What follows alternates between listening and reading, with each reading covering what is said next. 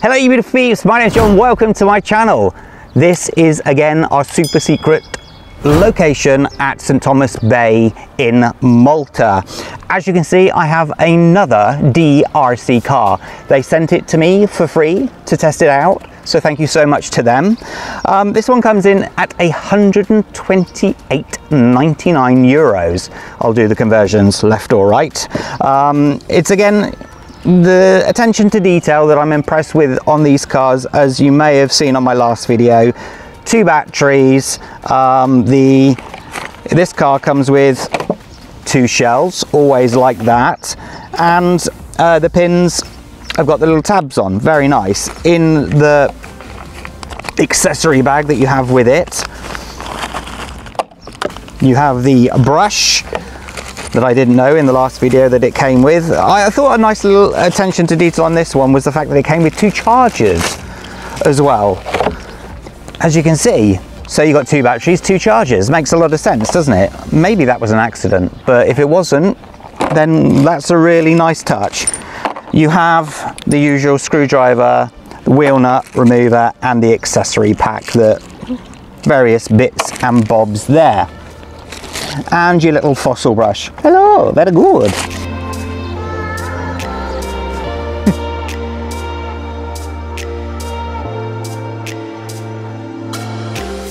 Okay, the 9200E from DEERC is a 1 10th scale four-wheel drive front and rear diffs, 540 brush motor. It's got a joint ESC and receiver. I don't know the uh, amperage of the ESC.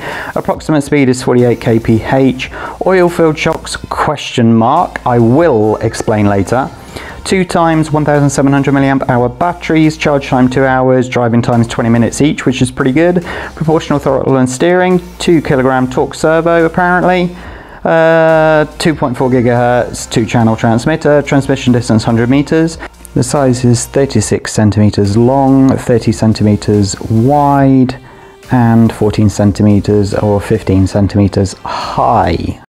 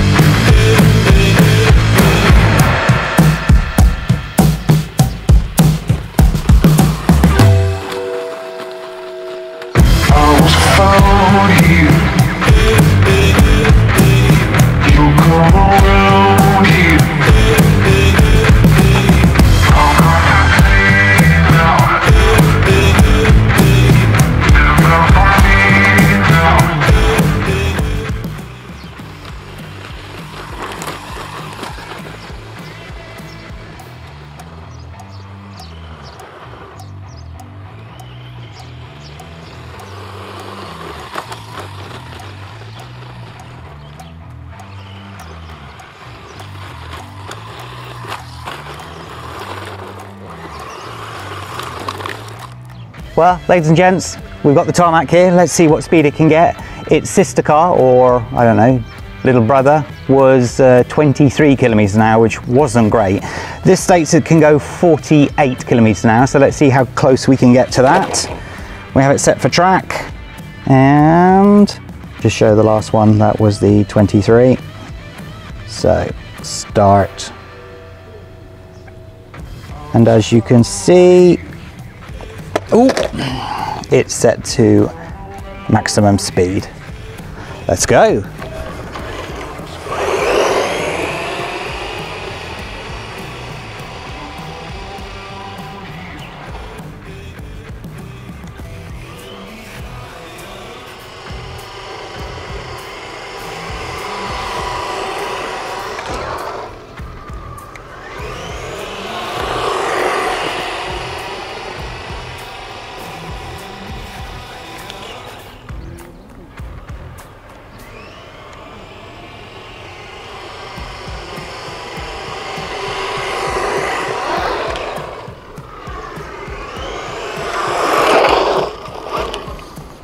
Okay, let's see, Shui.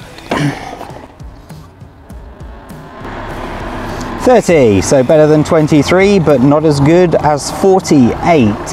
It's not good at all, is it, when they're stating one thing and we can't even get anywhere near that. Okay, let's move on. Okay, this is just a really quick video because I'm a little bit confused about something. It says that it's oil-filled shocks, however, you see this, I mean like there's no resistance there, you see the way it bounces, something chronic. So I wanted to open one of these up quickly to see if it has oil in it. So get on. Of course, I picked the one that seems to be welded on. Come on, come on, come on, come on.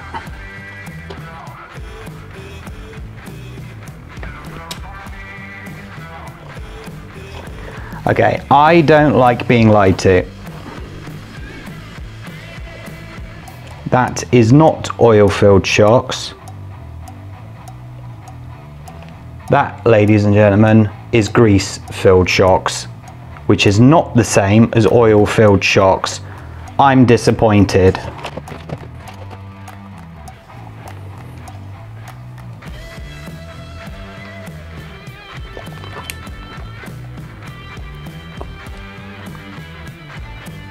This is not oil. This is grease. Come on, must do better.